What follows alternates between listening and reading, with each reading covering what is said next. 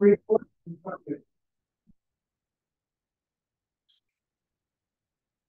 No, I still monitor the. Sure. Where do you need the the settings? Okay, all right. You need the presentation, right? So, You can share that. You can share, Um, I need to join the breakout. like the way you do that, yeah. Sure. I thought I'll be in the main room. Sure. For monitoring. the do you want to, do you want to send presentation? I can send it to you. PDF, the PPT. it. Do you have a PPT with you? You Yes. send it to me? Yes. This is May, right? Do you have it on your phone? I'll forward you this. Uh, this is the one. Yeah.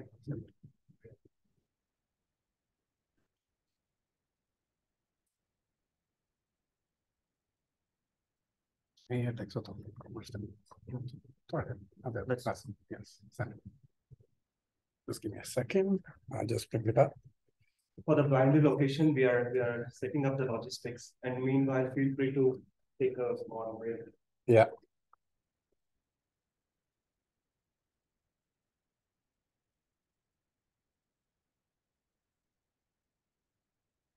Ah, but- Ah,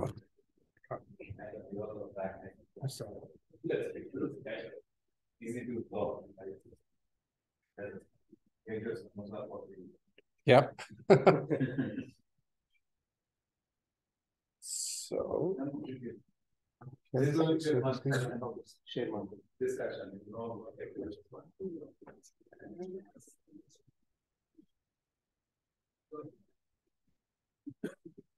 no.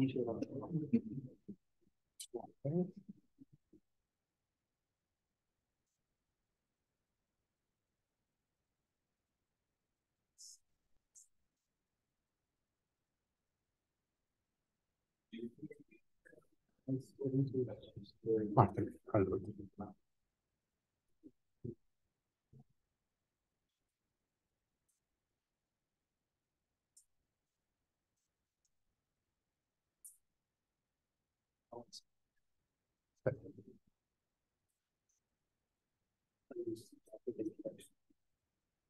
Yes. We are leaving from this camera. Just.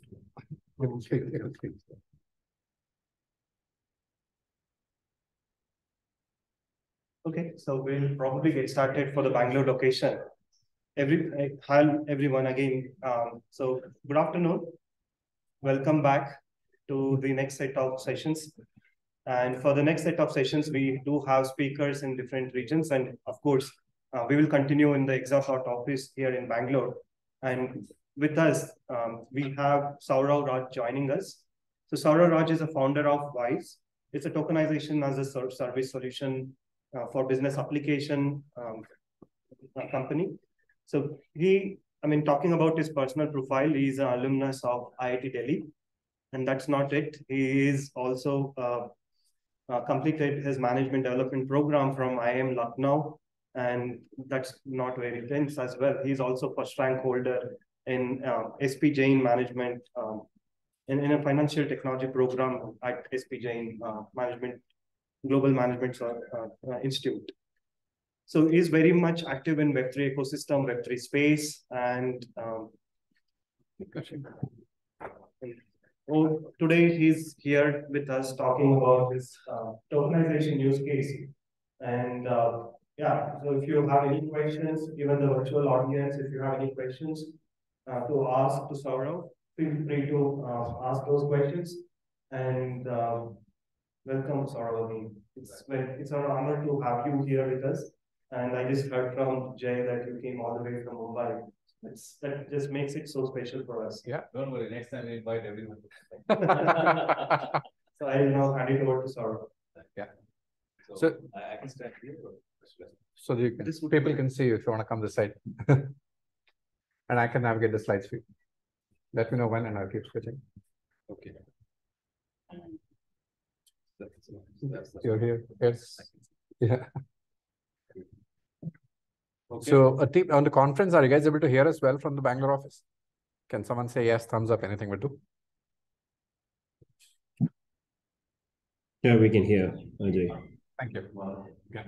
Okay, so thank you for the wonderful introduction, and again, Hyperledger team and Bangalore team here uh, for you know this opportunity. The idea is that I can share something which I have learned over this you know past several months to over a year uh, in this domain, which will give you some perspective of all the cool stuff that people talked about in building technology, interledger protocols, sharing of data, and how you could actually uh, use it to bring uh, applications, bring use cases to life, right? So that is what we talk about. Um, so the theme is building trust for a decentralized world. Everyone likes decentralization moving forward, and that is what we'll talk about. But as soon as you decentralize things, you, you tend to not know who the other person is, but you still need to be able to trust them to do a transaction. And that is what we find out how you can actually do that. So yeah, let's go to the next.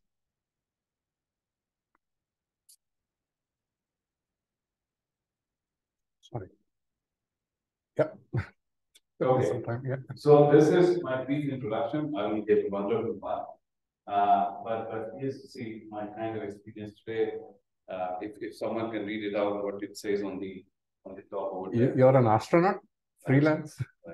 So, so this is interesting, right? And this is, this is actually my LinkedIn page. So if you scan this QR, it takes you to my LinkedIn page. And that is what I can go and write saying I'm, I'm an astronaut at the Hyperledger India chapter. Now that sounds very good, but I know it is not correct. He knows it's not correct. Everyone in the room knows it's not correct. And this is the problem with everything that exists in social media today, everything that you put out today. You really don't know what the other person can write. So how do you trust what the other person is saying? How do you know actually if someone's saying they are someone or they have a certain degree or they have a certain credential, it is actually correct. And that is where we'll understand how tokenization, in fact, can actually help us do that. By the way, the rest of it was correct. so, brief introduction. Now comes the actual introduction. So this is we we have done quite a bit of work. If you go and read, you'll see where all you can, you know, after the event as well, you can see where all tokenization can be useful. Uh, we pitched it to uh, the uh, EdTech Startup Challenge, is Academy Intentions. They, they gave us an award for that. They're part of the National Deep Tech Club as well, which is now based out of here in Bangalore. And that is uh, presenting at the Dell Technologies Forum, where it was how do we tokenize uh, work credentials for the gig economy. Now, a bunch of people come and deliver stuff to your house. I mean, you have Zomato guys, you have Swiggy guys, you have Ola car drivers. How do you actually know that, you know, that guy is actually a Swiggy guy? And you and I all have LinkedIn's or, you know, fancy resumes and online photos, but those guys who are delivering food at your places, who are delivering stuff, medicines, I mean, they don't have any LinkedIn's, they don't have anything, right? How do you make sure they get credited for their work history? So tomorrow, if they have to go and apply for a loan, they can actually prove to someone that, hey, I worked in Swiggy for 12 months, I took a three month break and then I joined Flipkart and I'm doing a good job. Here, my, here is my customer reviews. So I, I'm eligible to get a loan. Because those guys, because they are on contract, they don't have a work history. Their education certificate or somewhere else, they cannot actually prove they're financially marginalized. So this is where a technology like this can actually help them get to that point where they will be included. What we talk about financial inclusion, that is something which you can help. Issuing tokens is very easy. It is actually more economical, cost effective, and time saving than actually issuing them a letter which they might eventually lose over time. But a token created on the blockchain sits forever. And that is the beauty of the solution that we're going to talk about. Right, so to break it up, what we will talk about is problem statement, solution, to blockchain or not to blockchain, why? Uh, tokenization and NFTs. Uh, then we'll talk about some of the business applications, look at various use cases around the world, some of the very popular ones, and you will see what actually is happening out there.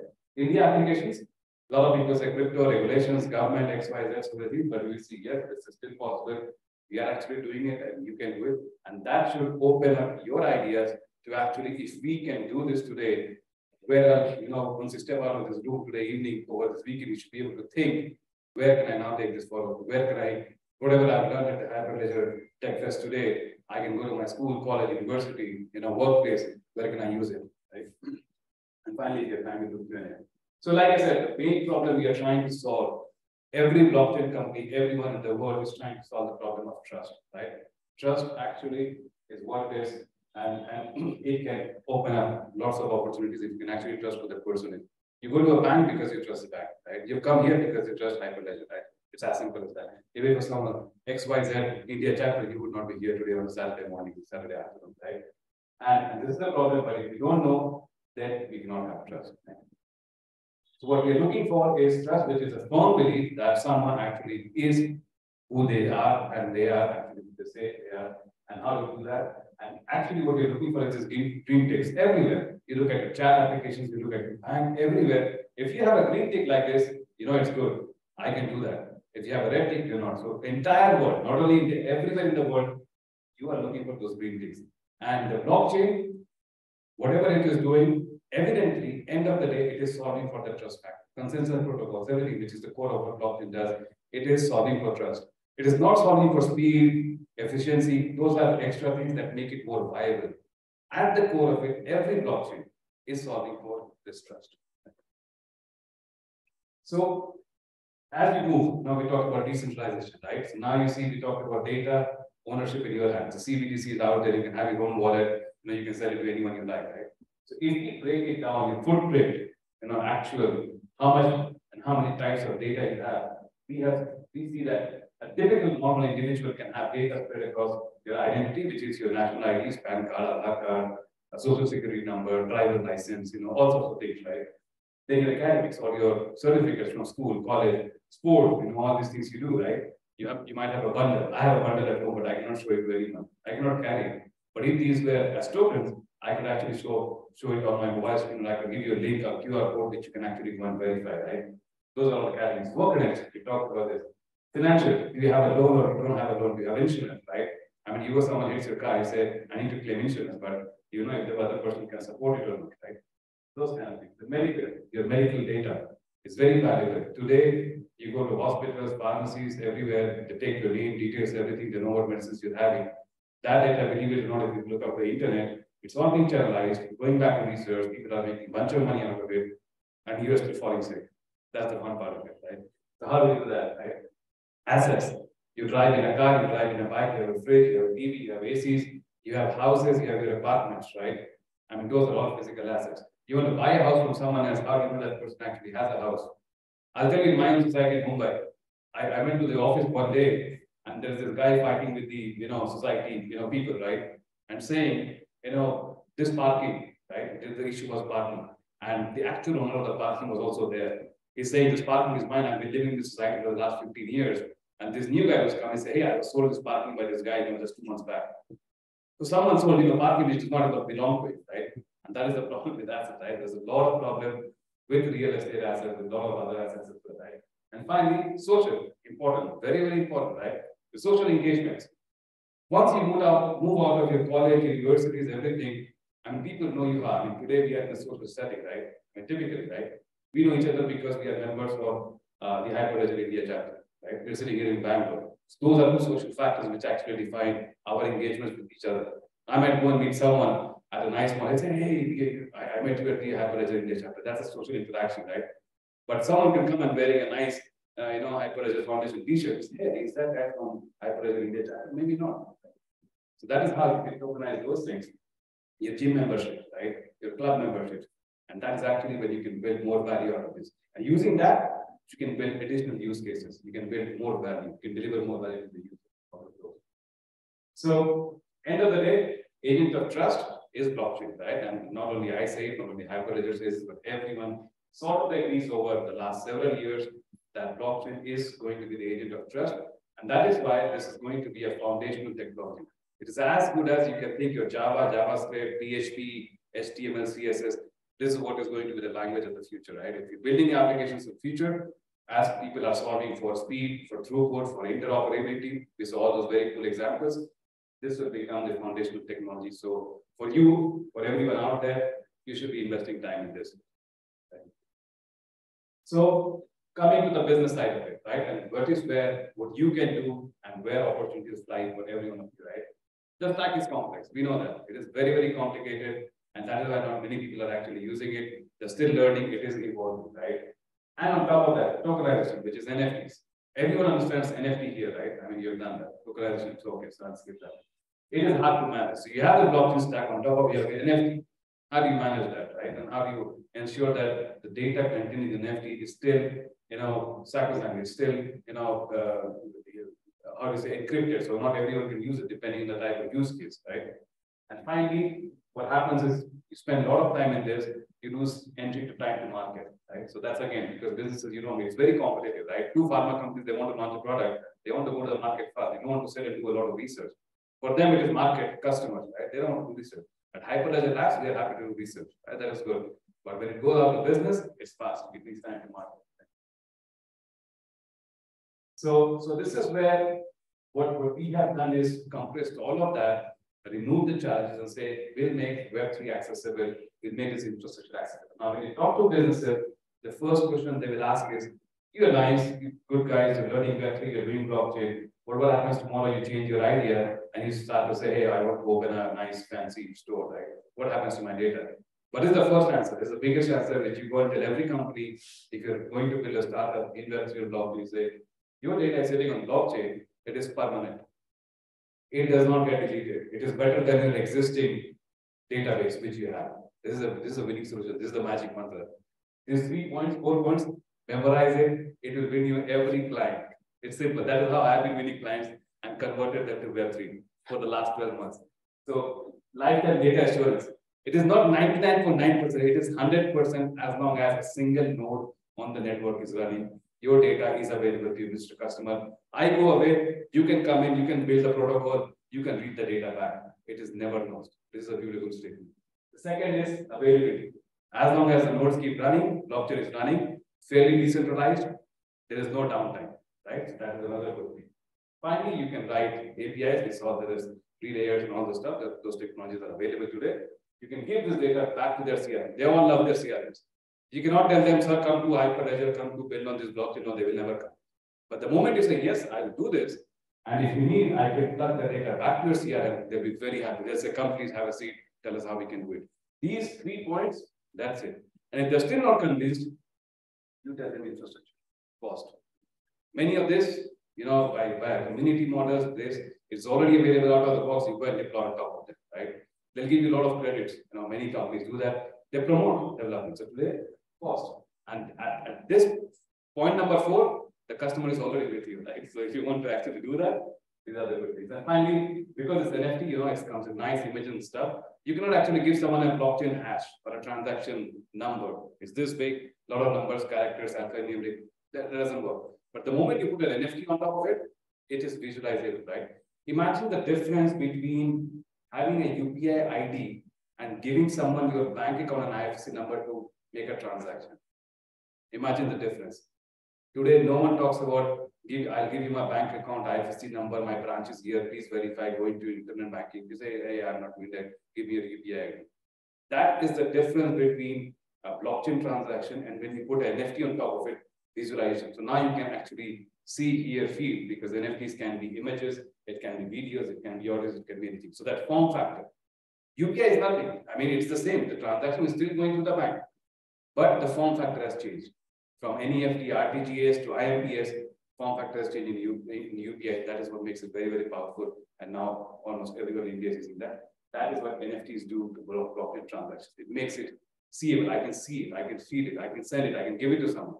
That is what it makes it powerful. And of course, because it is there, it is tamper proof and very verifiable. So when I talked about I'm an astronaut, because that token is not issued by Hyperledger India chapter, it cannot be verified, which means that is incorrect. Simple. The question ends there. You don't have to go to anyone. You can verify the data on chain. You don't even have to go to Hyperledger. You don't have to come to me. You can actually verify it independent of everyone. And that is the power of blockchain. That is the power of tokenization and decentralization. These are the premises. This is the winning slide on baking Web3 when you want to talk to anyone, right? So how did it come about? So initially, before everything started, we just had identity, which is a account wallet. You have smart contracts, which is the rules of what I give to you, what I take from you, right? Or what are you giving me? And then you have a payment, which is a transaction which actually does these two things. And then something revolutionary happened, which is uh, then you got digital assets, virtual digital assets, we call it. These are the NFTs that we talked about, right? And when these came, it changed the game everywhere. It, it was it was a big change And, and, and that is where people got interested in blockchain. That is when a bunch of artists came, bunch of creators came, who had nothing to do with blockchain. Before this, blockchain was just for geeks, nerds like you and me, and that's all. They were happy with it. We were very happy. This is just about three to four years back. No one young People knew yes, that was there. I knew, back then. But when these digital assets came and NFTs came, it changed the game, right? Everyone started to hear about it, right? People are talking in Twitter spaces, people are talking about it, WhatsApp groups, people you don't even think they have any technical knowledge, they are talking about blockchain today. That is the power of what digital assets and NFTs have done. So where do we go? This is 2014, like I said, now blockchain has been there around 2007 and 8, probably 2014.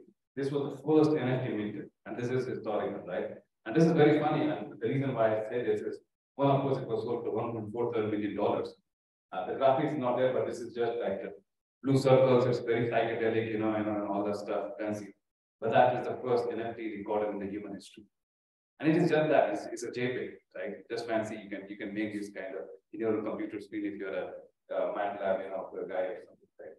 So this was the first NFT done, and there was a problem with that, right? What happened is today, if you have bought an internet domain, you know that you go GoDaddy or Namecheap or anyone you go, you have to kind of renew the domain every two years, three years, right? Otherwise, you lose the license, it goes back to the registry. So back then, when he did this NFT, he did not know what to do with NFTs. No one knew what NFTs were. So he left it. It was similar like a domain kind of system. So the chain on which it was created, he left it there. He did not renew the license. So when a major auction house wanted to sell it, the question came as who is the owner? Is it this guy, Kevin, or is the guy who is actually owning that, uh, you know, the, the network, right?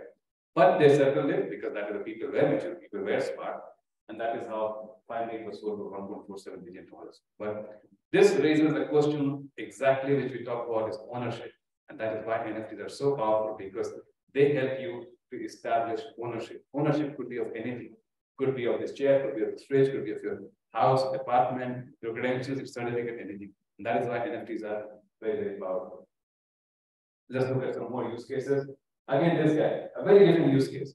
Now, super yachts, you see in those fancy movies, James Bond and everything, people are running, you know, yachts, very rarely they get blown up. Cars get blown up, bikes get everything. Yachts don't get blown up so easily, right? I mean, it's all CGI, it actually does.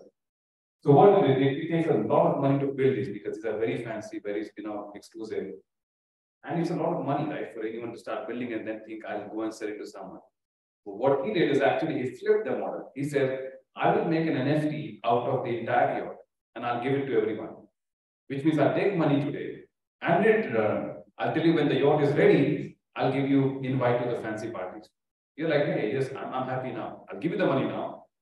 And in six months' time, when the yacht is ready, I'll get to go to a party. And this is where you see the business economic model changed. Using this, now you can go and tell someone, I'll give you NFT for my company or something, or a product which I'm going to build, or a software application I'm going to sell.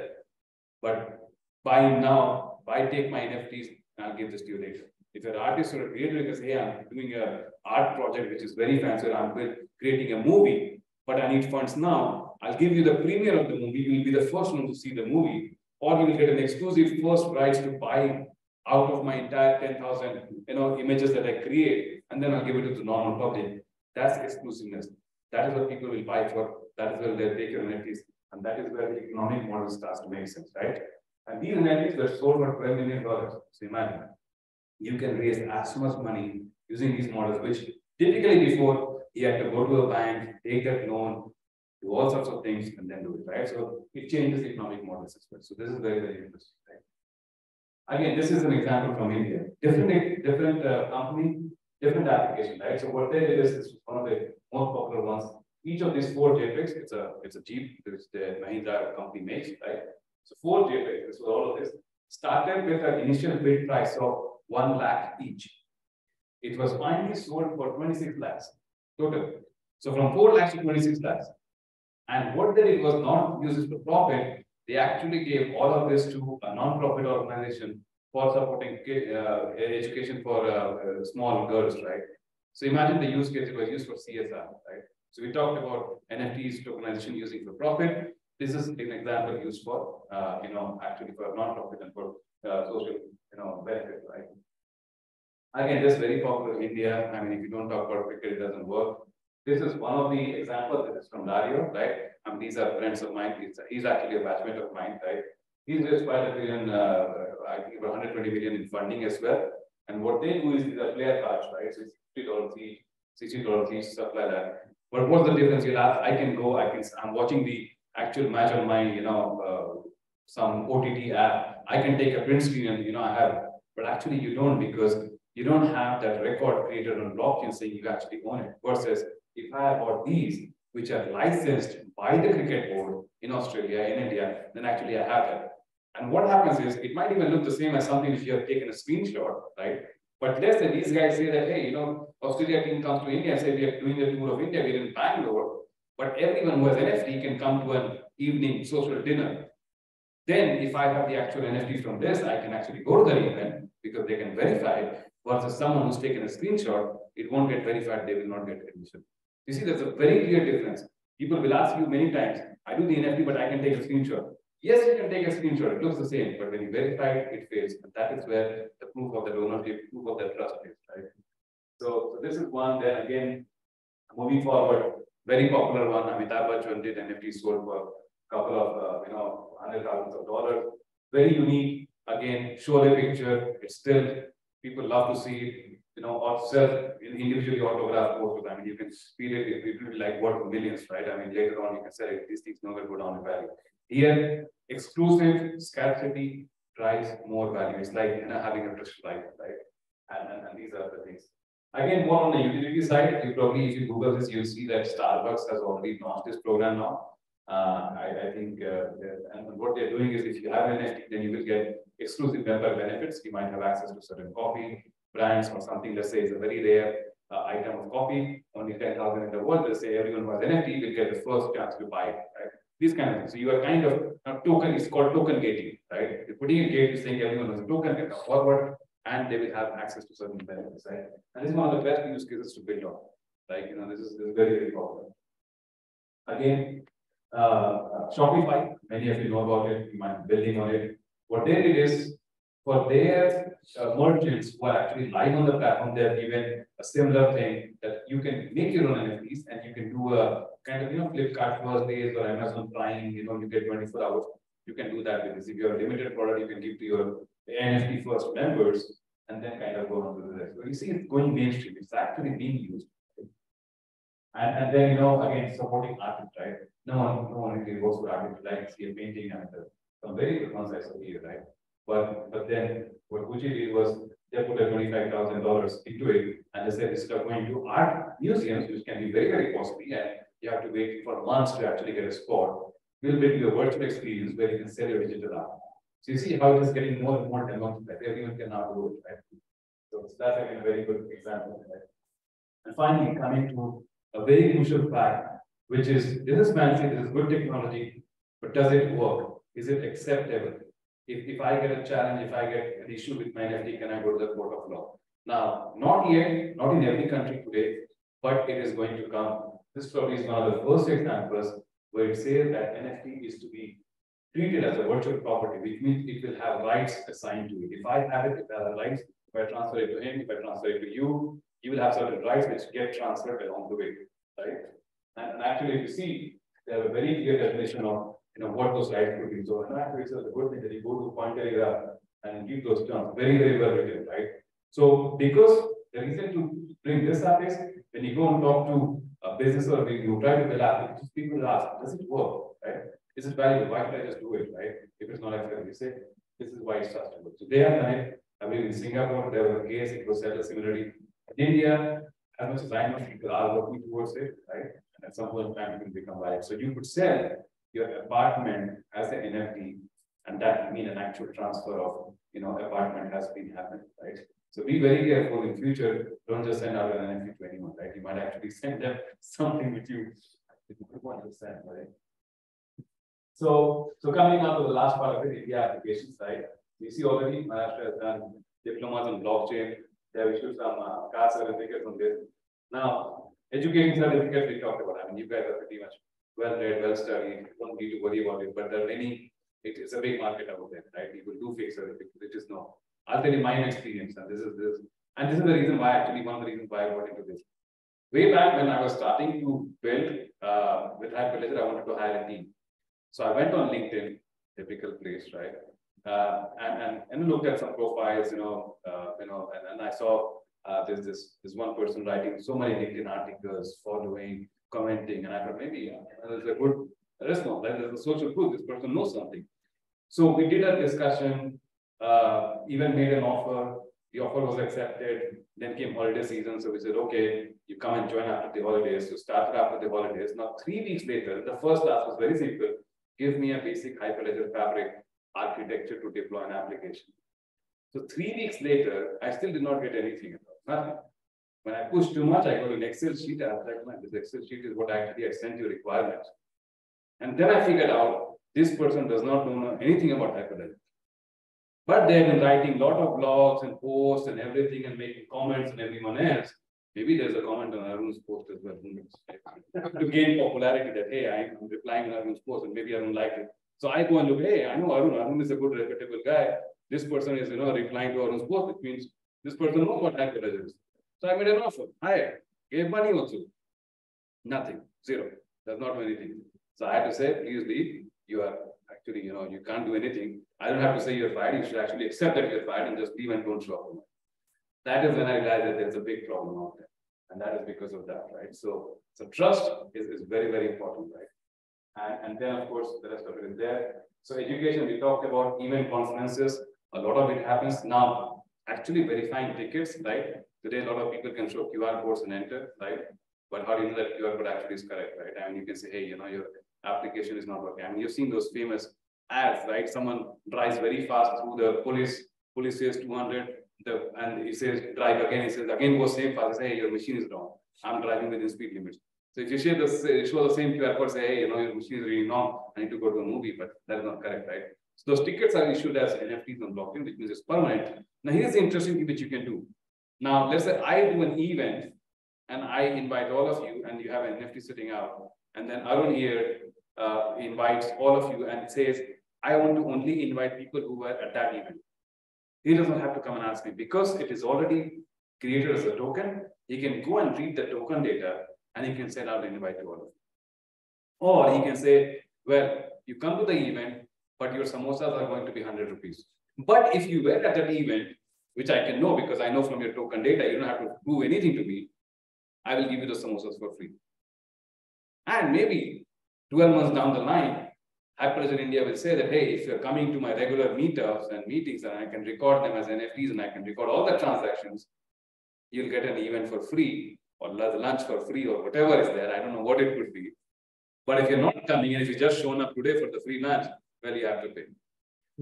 This is where the idea is to motivate people to actually be part of the community, contribute, learn also, and be present, right? And this is where a lot of developer communities going forward will change.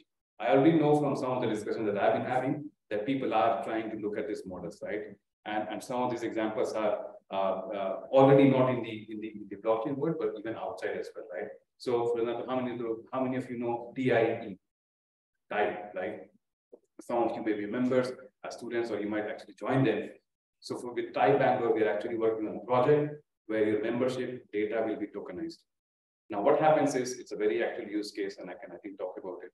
Uh, people get the membership for one year, they don't pay for the second year. It's very typical with, as, as Indians, we think Ekbar Lilia, it's for lifetime, right? It's very standard. so, so what happens is they put it on LinkedIn, but that's incorrect data, right? You're giving. So what we are saying is that membership token will get, uh, will be tokenized, which means if the next year you're not paying your membership fees, then the token will be getting deactivated, which means anything you try to get on the base of the token will say invalid token. So which means you can renew your membership or actually you can pay for the item, right? This is where, you know, without passing Excel sheets, without checking, without doing lookup, simple scan the NFT or the token and you know if it is valid or invalid, right? So that is how it's functioning. And work we already talked about try with that. So, so going next, yes, that was the uh, the next one is the membership which I was talking about, right? So this is actually active. And as long as you, if you're not renewed, you can change the visuals of it. You can say it's membership ship is inactive. Automated completely, smart contracts, you don't have to touch a single thing. They transfer perpetuity. As a user, no excuses. And that's where my payment did not work, my this did not work. You make the payment today, it's very streamlined, so that is an excuse. Make a payment, it becomes active again. Don't do the payment, you don't renew the membership, becomes inactive. Very simple. Now, this is an example. The reason why I showed it is you can actually build on this, pick up Hyperledger Fabric or, you know, uh, the NFT uh, minting engine or any of these. Go back, there a bunch of, you know, subscription services, gyms, clubs. Go build the solutions and sell it out to them. You'll actually start making money today, right? Actually, good applications of blockchain technology. And Bangalore is the tech capital of India, right? So this is the place where it should happen, right? That is why I flew all the way right? So now you know. Good. So this is another application from a supply chain perspective, right? Which is getting real-time status of inventory, who has how much inventory. You get this status updated. You know, Sawtooth is a very good example, is one of the oldest projects in the hyperledger chain. So I'll not spend a lot of time on this, but this is actually what you can do. And all the rest of the integrations you can have it, right? So you build the user interface, the backend is the centerpiece of it, it's the blockchain where you sit, and you have data which you can rely on, right? So based on that data, down you can see who needs to get full inventory, or if that person is saying, hey, you know, I have so much inventory, I need a loan from a bank to manage this all, you know, raise capital, you know, businesses need to do that, they can actually do on the basis of that, because otherwise there's no proof that you have so much inventory, right? So that is what you can use for. So these are actual applications. Uh, let's go next. Again, some of the new ones coming, healthcare, we talked about real estate. Uh, it is one of the most difficult ones because there's a lot of regulation, a lot of fraud also happens, right? Which is one of the slowest ones. But what I can tell you is, I believe very positively, and, and I may be wrong, but most likely in 2023, you'll start to see tokenization happening in real estate, which means, let's say this was an entire office, you know, all of us could have like one, I don't know, one block like this, owning of the office, and then you can rent out the office to someone else, and whatever the rental money comes, everyone starts to get it, right? I was at some point of time, started my new job, went to Mumbai, real estate prices are here, my salary was always here. And that is typical, right? That is typical to any big city. You want to go and work, you come from anywhere. House, home is here, your salary is here. You never make enough, right?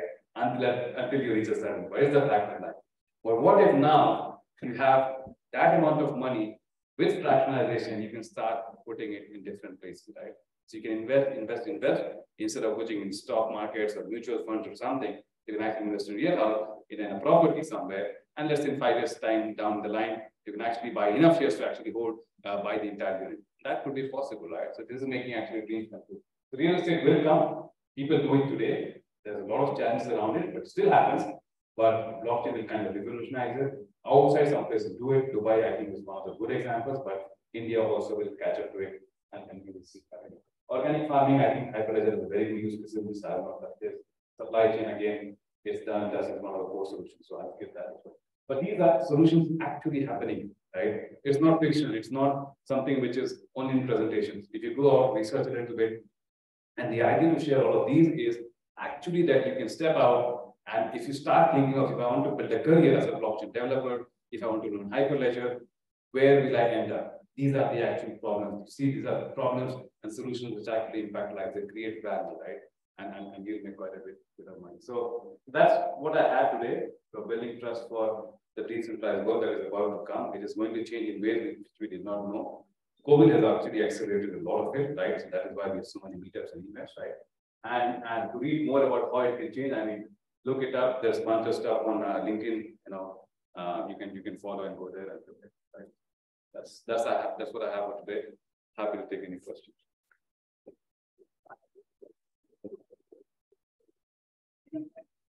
Um, so you did speak quite a bit about NFTs and artwork, right? So from my knowledge about NFTs, because I deal with it for 30 years, but uh, most of the actual artwork is not stored on the blockchain itself because of the space constraint. But the artwork with you know, file, the drawing is in fact stored in some other cloud storage in some center system. And the only thing that's actually stored on the blockchain, the trustable data as such, is the link to that particular um, artwork right? Um, so if the server that's supposed to be active which kind of goes down, then all you have will be the document stating a link to something that doesn't exist. So, I mean, I think this is a very common problem that's been discussed, but you know, like um, how the trust aspect and ownership is actually um, that use case is fulfilled to one. Repeat the question. Right. So, and I didn't get your name, sorry. I mean, Deepika. Deepika. So there's a question from Deepika here. See, you're saying that a lot of the artwork, you know, digital, it's created a copy, it's stored on a centralized server, could be a cloud server somewhere. And, and the blockchain actually just simply stores a link to that file. At some point or another, file can be deleted, can be moved, it can be removed. So how do we manage or ensure that actually the data exists and how do we track the ownership through the transfer process, right? I believe that's the question. So good, that is actually a very good question. And again, fraud has happened in that, right? So people did exactly the same thing. They gave you a link, they created the link to a, a blockchain transaction and said, here is the artwork. And when the artwork was sold, the transaction was done.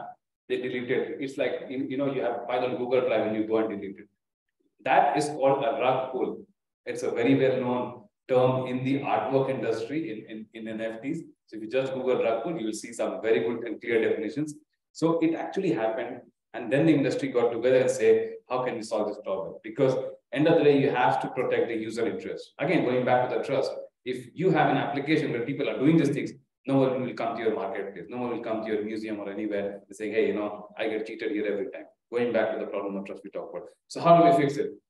So then, like you have distributed and decentralized blockchains, right, which is the protocol, you have decentralized storage as well. IPFS. Right? So, IPFS. And, and there are solutions out there, right? So what you do is instead of a Google Drive, I mean, you can put the same artwork on a Google Drive, but now if I know it's Google Drive or a or a AWS link or a Azure link, I will not trust it. I know this can be deleted anytime. I don't know where it's stored, right? Sure, if it's an IPFS, then yeah, maybe. But it would be, I mean, is there any indication or any NFT that's a standard that's associated? Yes, yes, actually, there's a, that's what I'm coming to. So, so in terms of storage, that is the one because it's, it's distributed in that sense and you cannot just delete it. Second is that link with IPFS, so you can actually see it. So where as exactly, so as, as soon as you see drive.google.com, you know it's a Google Drive, it can be deleted or you can lose access to it. As soon as you see an IPFS or a you know a decentralized store, I think you know it's IPFS. But there are more solutions actually. People do that. Uh, look up this project called Lighthouse, right? It's, a it's a recent one. Uh, people in Bangalore have built it. I was talking to them. Again, a very good solution, and then gives you this decentralized storage. So if it's a decentralized storage, I'll trust it a little bit more, right? So that is one.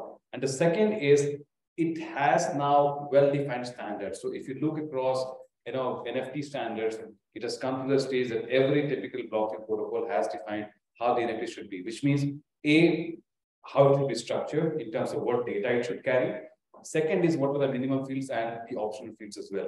So as a minimum, you have to have three to four things in every NFT, which is the name, a short description, a link, which is a decentralized link to that, right, in a storage of the actual media, and then some various attributes, right? And of course, along with that goes the ownership data as well. So every time a transfer done, it goes to him, it goes to him, it comes to me, it goes to him. You see that ownership gets done and you are referencing the same decentralized link that you had in the first place, right? So that is how you know this is the media which is traveled, right? Versus if it was a Google Drive, comes, comes, comes here, third step, I remove the link, I put something as Mickey Mouse and sell it to him, right? And he will never know what the original artwork was. So that gets done. There is still some challenges to it two to three things. I can take that media out of this chain. I can put it somewhere else. I can break that link. Today, this is impossible. So what next comes is digital media rights. People are trying to do that. It's, it's again, it's part of research. If you're smart enough, uh, you can pick up that project, could be, you know, uh, put it to the labs. It will be a very great project because that is something which people try to do. Second thing is on the same marketplace. Like I said, you have an art piece. I can take a print screen of it I can put it back on the same marketplace. So how does the marketplace detect it's a fake or it's a duplicate? So again, using AI, using machine learning, using image search, matches, you can actually detect duplicates, right? And this is again a very, very good area for you guys to think. And actually, if you're interested using AI and blockchain, you should start looking at building some solutions like this. People will actually marketplaces, popular ones, you know, they'll actually take this solution because that is, so these are some of the other problems also which come with that and people are actually solving. But not everything is solved yet. It's like I said, there's a lot of opportunity if you want to work on the core engineering part of it. These are some of the solutions you'll have to solve. And finally, uh, the other third piece is your physical assets, right? In India, people are making some, you know, acrylic or canvas or you know something. Those get converted into a digital form and then they are shipped out or sent. How do you link those two things, right? So a lot of interesting things still to do, right? And, and, and that is especially in the domain of just pure artwork and, and, and those things. So again, thank you. It was a wonderful question. Okay, you don't get extra samosas by the way. So go ahead. You can actually. You can, okay, so you can. That's the motivation. Was um regarding the cost of houses or buying land versus the family particularly. Um, that's similar to like buying a company versus buying shares of a company, right? Like you can own parts of the company but not the company itself. And even in real estate, there are these things called REITs, which you may know, like real estate investment. So um, like, I, I think the use cases are quite similar, you know, when you say instead of investing in stocks, you get, you might as well buy NFTs to buy specific pieces of land. So like, what is the distinction that, uh, maybe I didn't understand, what is the distinction you're trying to draw between owning an NFT for a piece of land versus keeping the stocks are shares of the company you own as an NFT? There's no distinction, it's the same. It's the exact same mechanism. The, the NFT is just like I say, it's a visual representation. When you buy a stock or you go through a broker or any of these online trading platforms, they give you something like a demat, demat shares, right? You get a receipt or something that you have X amount of shares. So like I said in the beginning, the NFT is a visualization of the same that you own something. That's it. If the NFT is not there, then you have a blockchain transaction. You can always go and look it back You can bookmark or hyperlink it, or you can store it somewhere. But the NFT in a wallet is actually, you can say, hey, you know, I have 10,000 shares or 10,000 units of this property. That's the difference. So it's a visualization, it's a great visualization thing to your blockchain transaction, right? In that sense, in this particular example. It can have a nice photo of the building, all the stuff. So even you see, you look at, hey, it's still with me. I've not lost it. That kind of feeling. But yes, one to one, the mechanisms of how it actually gets done is, is very, very similar. So would you agree that, you know, NFTs are essentially a visualization specifically and not necessarily to do with the ownership aspect? You can still own it, but NFT helps you visualize ownership. It's actually both. It's actually both. The ownership, because the ownership actually defines, and once you transfer that ownership, that is what with the China example, you know, if you transfer that, you know, part of land piece or, you know, or, or real estate to him, saying, I've given you the NFT, he can go to the court and say, hey, you've given me the NFT. This NFT represents the piece of land. So that land belongs to me now. That is what is, you know, in the legal partner, that is something which is uh, still a bit of gap. But as soon as people understand it, they recognize that your NFT can represent the underlying asset. And if you have transferred the NFT as a part of a sale deed, the underlying asset should also be transferred.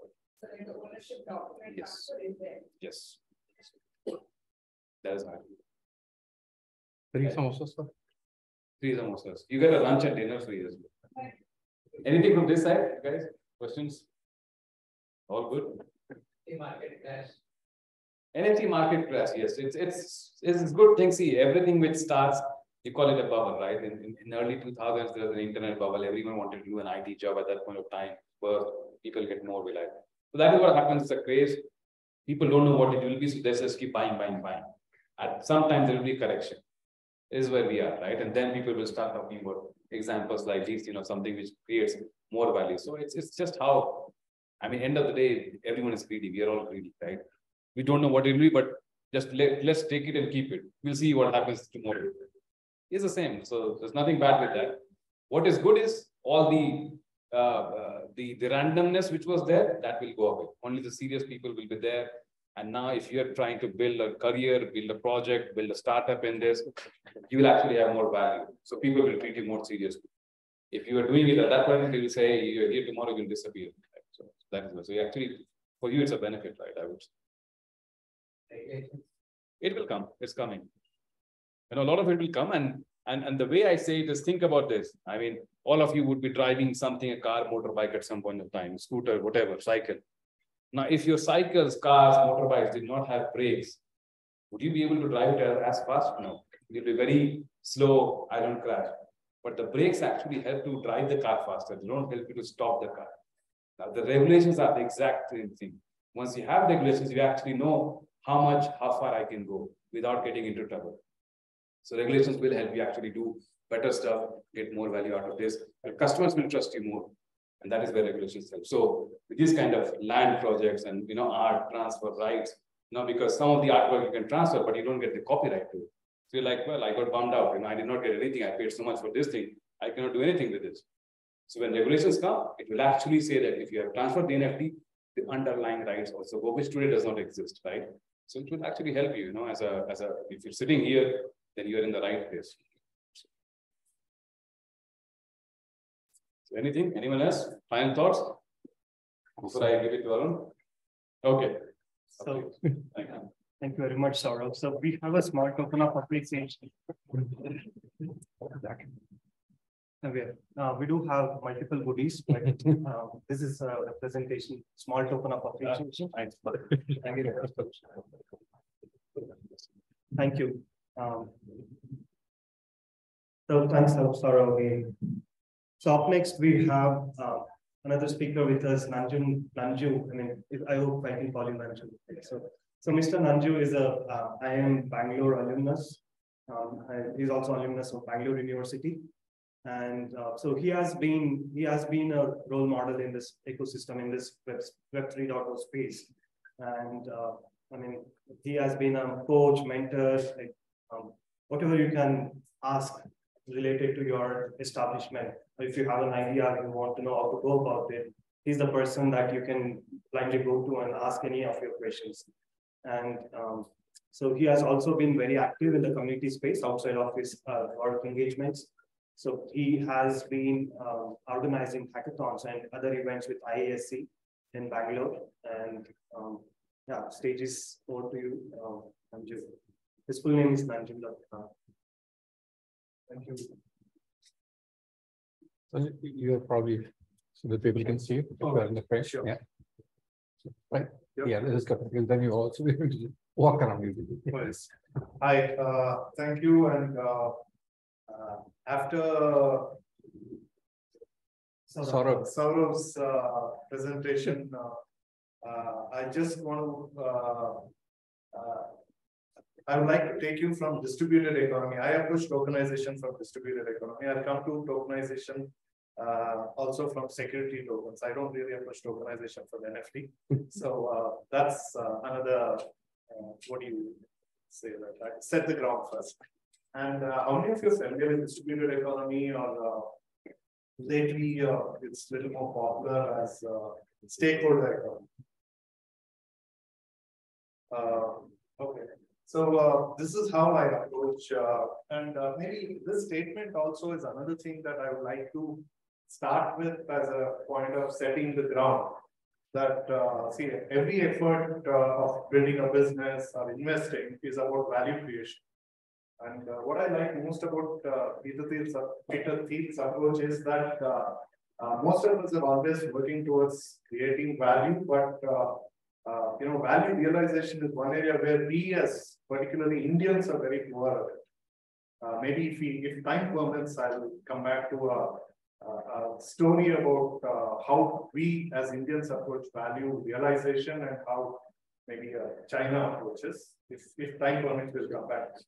So uh, this is a, a generic uh, definition of distributed economy.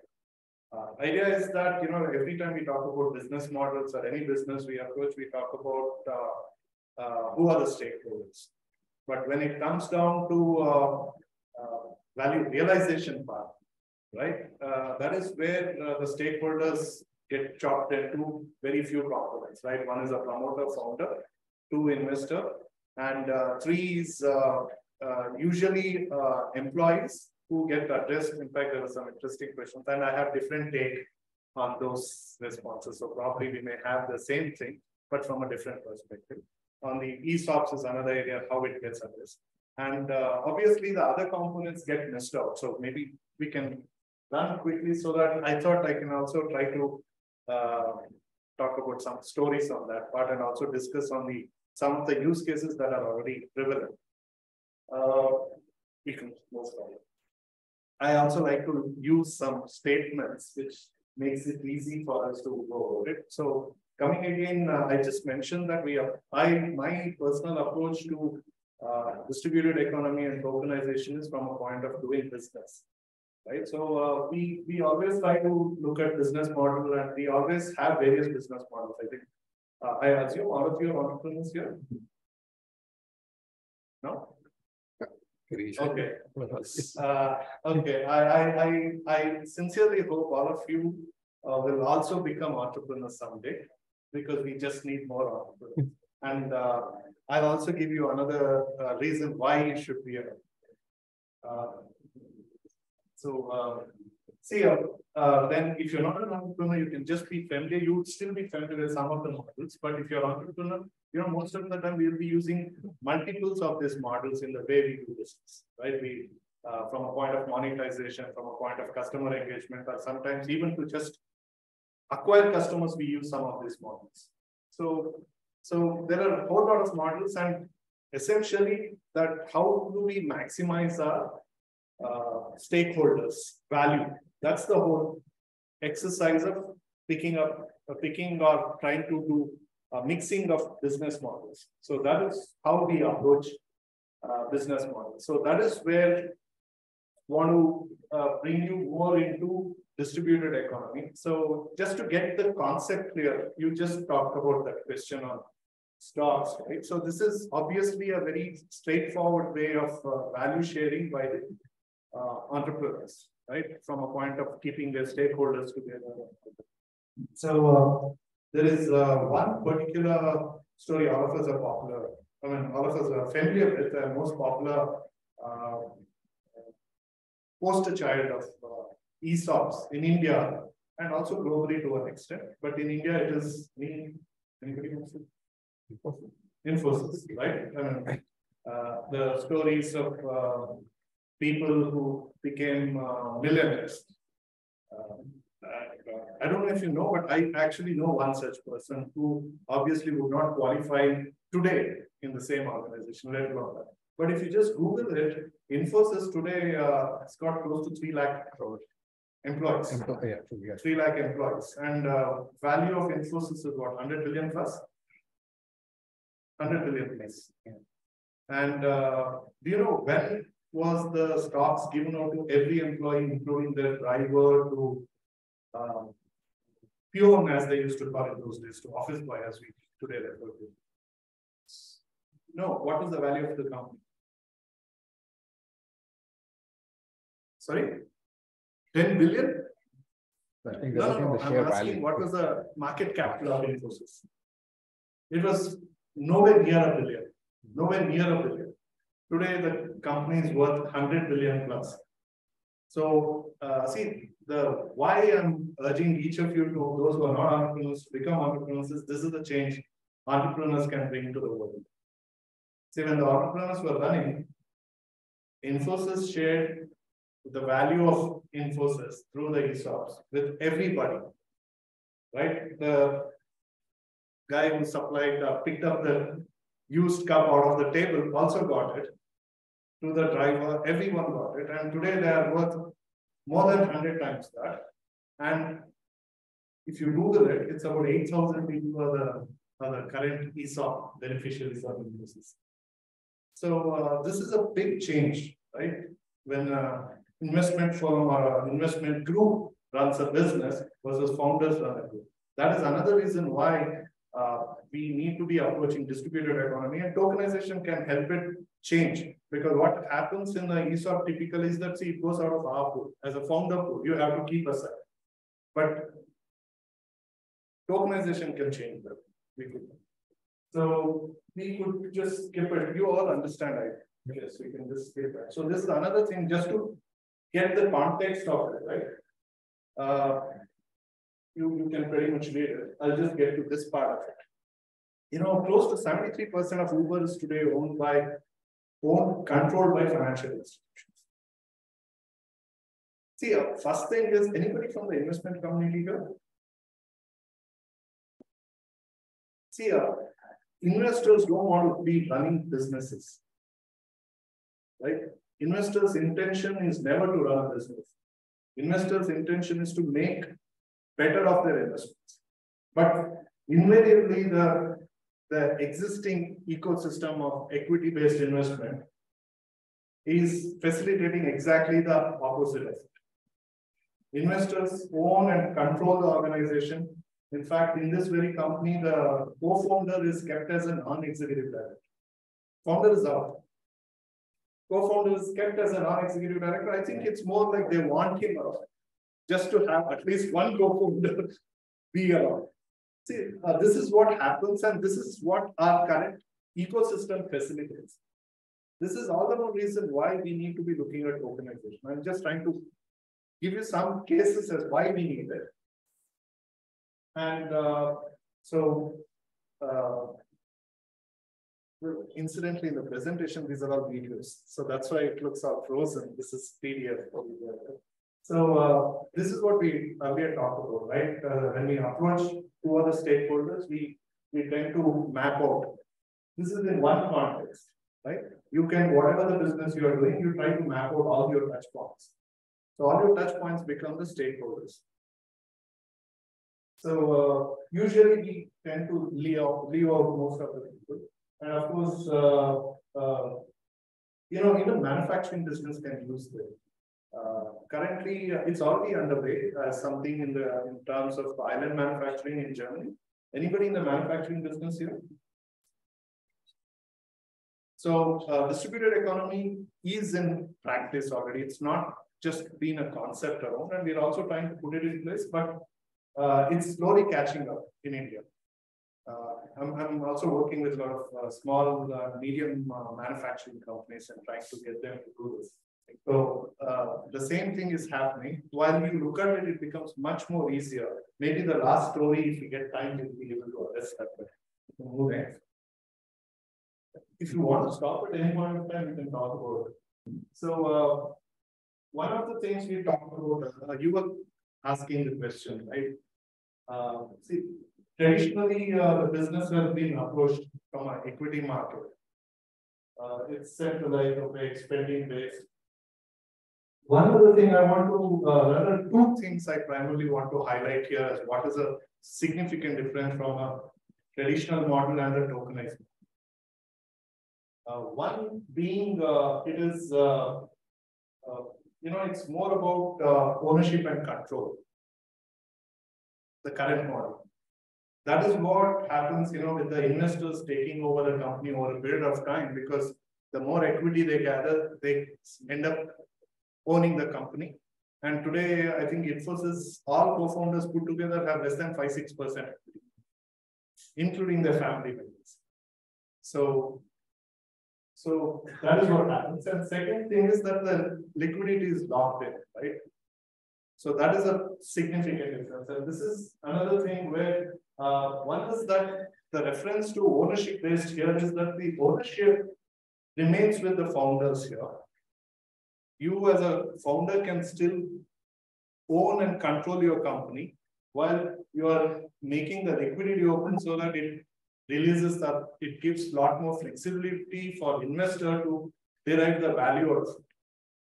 So uh, it would have been really nice to have some Web3 investors into the conversation because uh, uh, you people should start at least uh, have some have some conversations to know that you know there are a lot of investments happening on tokens only. See, no more uh, equity-based funding. Of course, the large firms are doing a hybrid model. They're also taking in some equity. They're also taking in some tokens. I think it's a good model, good practice to have. It. And if you go to Dubai, you know, many people are Correct. You go from India and you equity, there's a Correct. And even the typical sales model that you have, it is the very for the start. Correct. It's a similar concept, but uh, for the limitation we have. But see, a lot of investors are driving uh, Indian startups to Dubai or Singapore because they say that uh, it's highly volatile and it is being volatile, so to speak. Uh, RBI folks or the Ministry of Finance, they they uh, they've been more rhetoric, which is not very positive. So that is what is scaring a lot of these investors to encourage their uh, companies to come here and then we'll reform. So that's what's happening. But uh, uh, but seriously, there is a stronger case for doing business in India.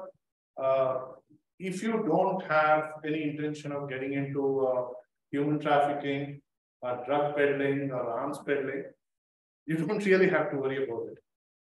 See, uh, it is true that the compliance is not there, but the reality of the business and the world is that compliance follows business. And that's the way it is, right? You know, planes started flying almost 30, 40 years before the aviation laws came in.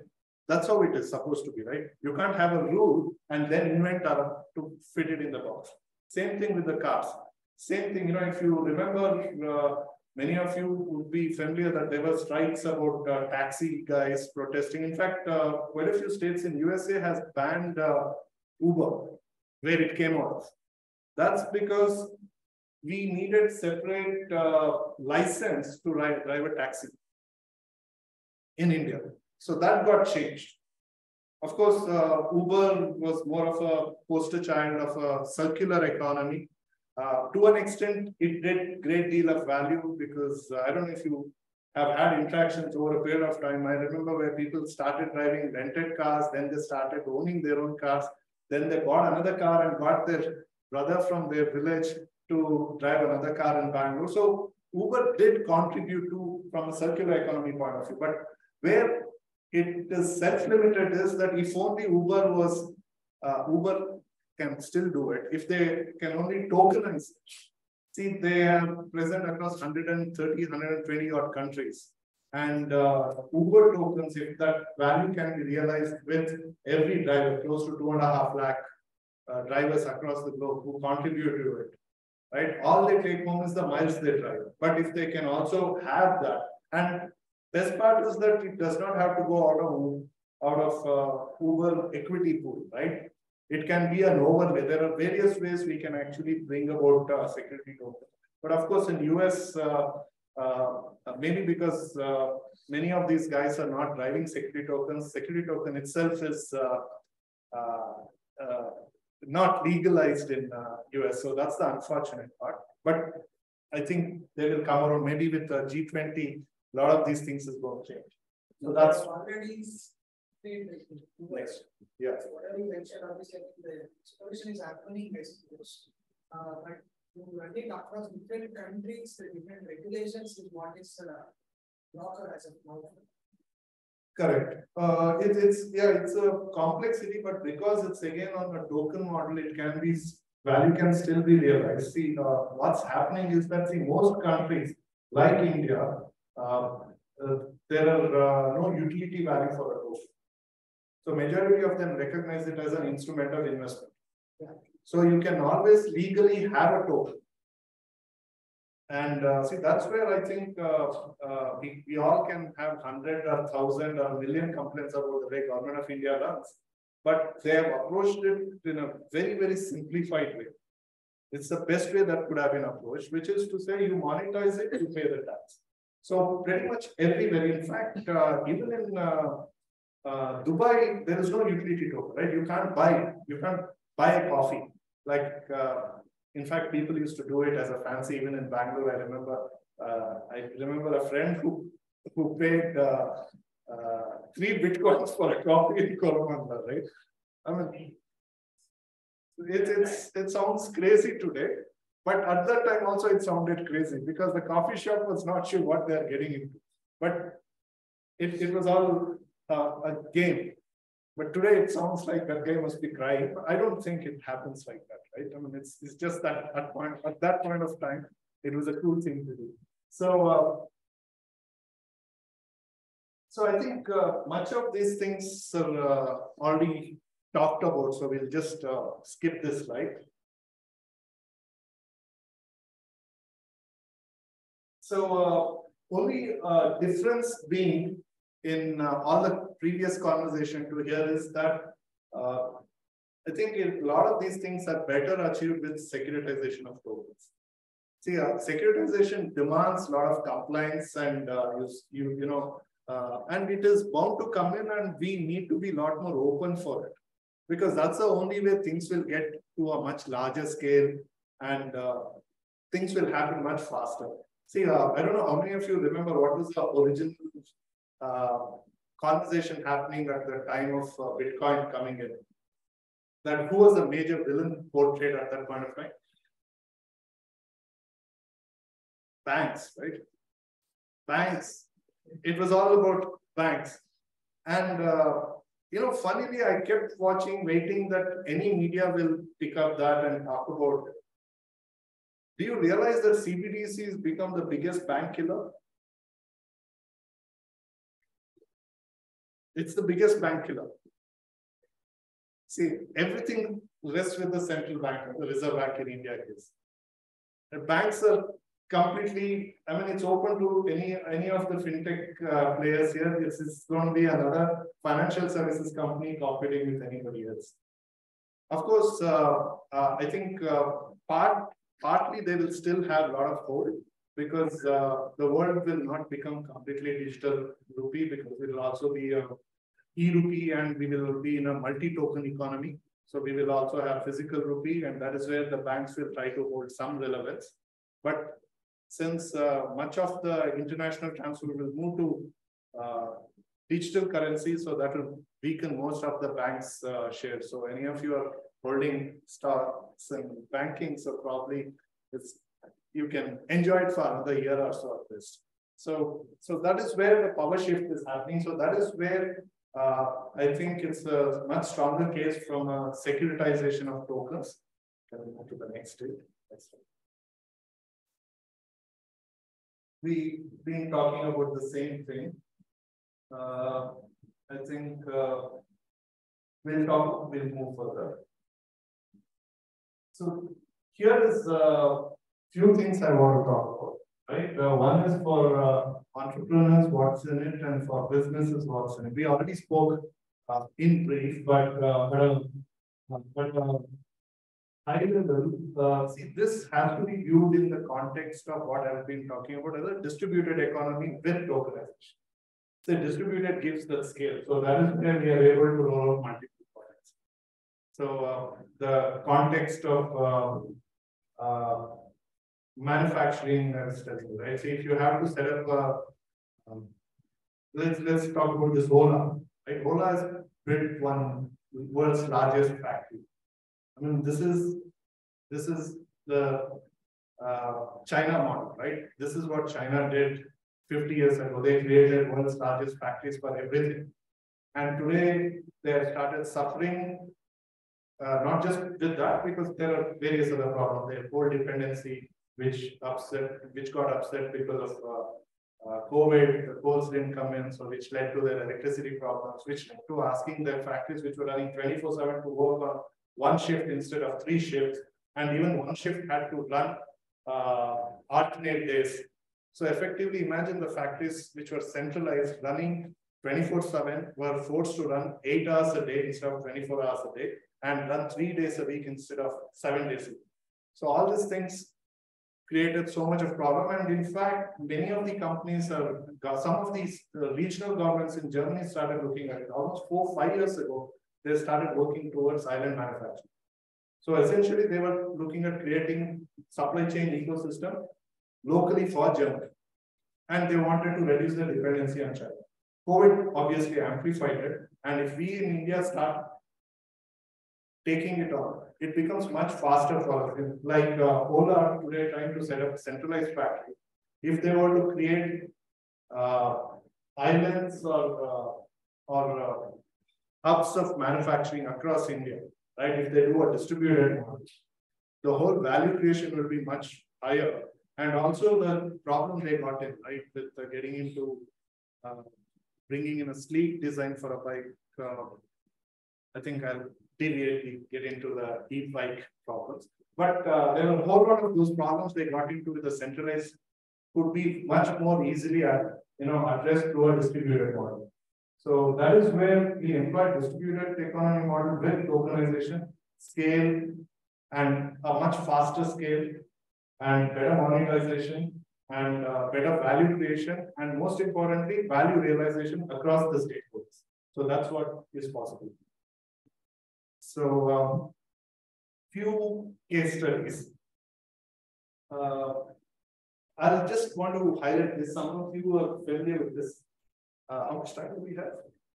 I mean, you can take few more minutes. Some... Okay. So your question on the art, right? See, interestingly, there's a company in uh, Switzerland. So what they have done is that they don't approach art with NFT, right? They call it art security tokens but they're primarily working on a DLT model, right? They are not working on any particular uh, blockchain technology that is currently in place because they want to have built their own proprietary approach to it. And they have also partnered with a bank. See, that actually addresses most of the problems otherwise the system has. So the bank becomes a, a bank has an ecosystem infrastructure, technology infrastructure as well. So it is centralized. They keep the art there, like how the uh, money is kept in the reserve bank. So the art is kept in the reserve bank or in the bank, and then it is tokenized and multiple ownership is facilitated. Ownership from a token aspect. So you don't own the art, and you derive the value of the art and your investment. Getting it? That's the first statement of Peter theory we talked about, right? So this is just not about value creation, it's also about value realization. And it is best achievable through tokenization. And in fact, these guys are already doing it. And funny, their name is something like uh, uh, art. Uh, it's got a Indian tone to it. It's it's it's really funny. I uh, I when he was talking about it, when you both were asking, I just looked up, but uh, I have a short memory for names, so I forgot. so uh, Art Mandi, I mean that's how it sounds. It could be Art Mandi because it's uh, uh, Swiss French, right? A R T M U N D I. If you want to Google it, it's very interesting. And they're actually managing about 220 plus million dollar asset, which is essentially Amazon. So uh, they claim they are the only one. I few more. So that's where I put this space less than 1 billion is somewhere around 500, 5, 6, 600 million size. See, this is very interesting. If you look at it, the whole ecosystem of tokenization is less than two years, not from an aspect of NFT, from an aspect of tokenization and securitization of assets. See, there are companies doing it in gaming. Gaming is the biggest space that's having a lot of traction. In fact, there are a lot of Indians who are into it. And I'm sure all of you are familiar with uh, uh, uh, pay to play. Yeah. Right? So that's big, and most of it is happening through that. And uh, real estate, uh, there are a lot of uh, fractional ownership has also come to India. But uh, see, if you look at it, fractional ownership, there is a misnomer. There is no ownership per se. It's a fractional value realization of your investment through real estate. So you don't own it. It's like, uh, which is that uh, Singapore scotch from, uh, it's got that smoky thing. It's, it's a fantastic single malt from Scotland. So every time you buy a bottle, you get a certificate that you get one square feet of land in Scotland. Guinness, Guinness, Sorry, Guinness. not Guinness, not Guinness. Uh, that's uh, Irish. Uh, I'm forgetting the name. If you are into uh, uh, single malt, you should try that. But at least for the fancy of having a one square feet of land, so it's only a fancy aspect of it. So here also it's more about that. So you don't own it, but you get to realize the value. And uh, I think that's the best part of tokenization. I would like to uh, uh, talk about the last value realization. We have? Or should we? You can take two, three more minutes. Okay. Any questions or should I tell you the story of India's value realization? Yeah. Okay. Uh, see, uh, all of us are familiar with coffee day, cafe coffee. So one of the investors was uh, usually I get pardoned to help them with uh, their investment invested company for a, for a scalable model. So they wanted me to look at one of the investments into the coffee space, and that's when I started actually looking into coffee, what's happening in India, what's happening elsewhere. This was around 2018, and uh, Cafe Coffee Day had 2,200 plus stores uh, across India and five more countries outside. And uh, all of us are familiar, right? Unfortunate incidents has got more people to know about Siddharth's assets. So there was 14,000 coffee, 14,000 acres of coffee estate, which was a captive supply to CCD. So it's an amazing thing, right? You start a business and any raw material you want or the core of your supply, you have a captive supply. So it's like a crazy value you should have. And anybody can want to guess what was the value of day in 2018? I don't have the exact figure approximately, so throw in some number. Sorry. Uh, it was around $800 million. So how much is that? How much is that? So, uh, sorry. I, I, I really like to talk in code languages. Better, but unfortunately, you know, when you deal with some investor community, you end up doing this million nonsense. So anyway, so eight hundred million dollars. Six thousand six hundred. Okay, today's value. Okay. So uh, that's still significant. It's not bad. But uh, around the same time, there was a coffee uh, startup called Luckin Coffee in China. Any of you familiar with that?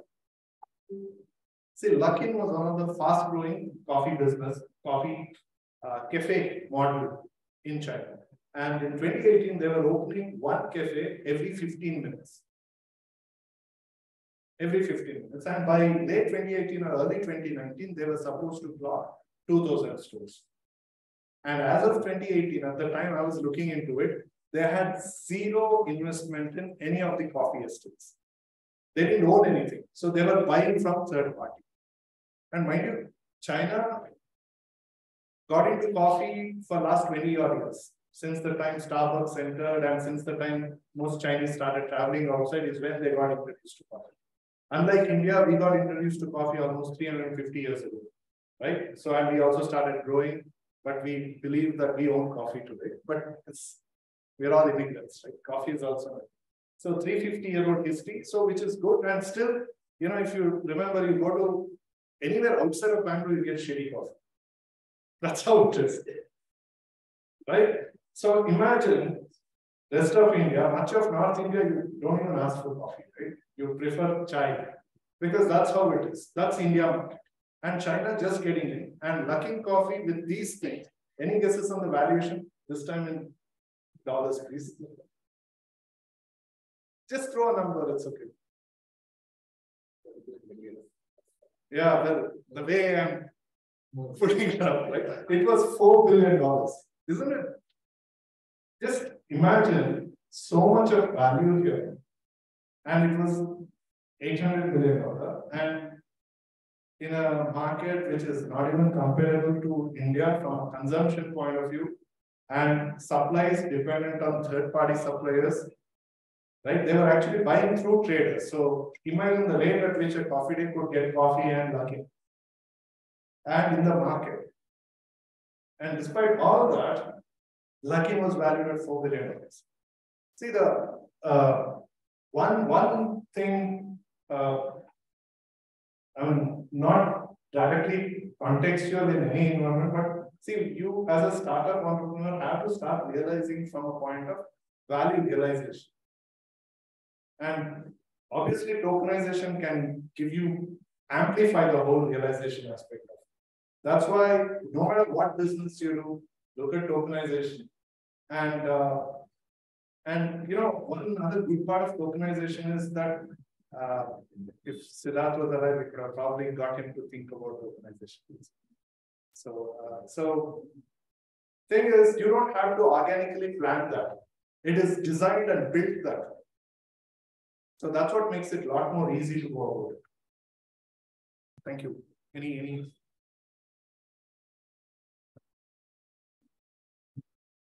All right. Thanks again.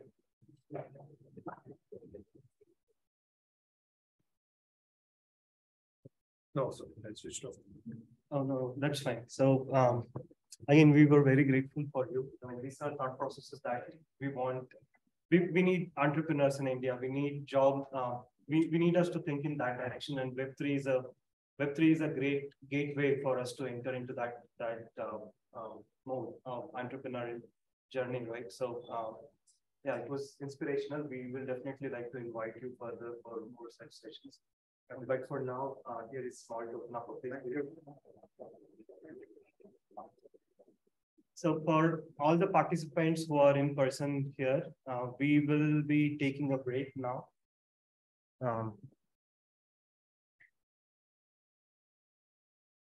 so we'll be taking a break and we will be collaborating or joining all the virtual rooms back in, uh, and we will be joining the main room in, in some time. So for now, um, until 2 p.m., I think we all can take break. And once we are back at 2 p.m., we have a panel discussion, which is again going to be hybrid. We have panelists present in Kerala, Noida, virtual as, as well, right? So um, we'll take a small break now and we'll join back at two o'clock. We'll leave the Zoom call recording on and we'll leave the Zoom on. So, yeah. I believe there is the session in Noida still going on. The, I guess the Kerala session is done and the virtual sessions are done. Already done for all of the guys. It's just going to take another ten minutes. Until you're very, very,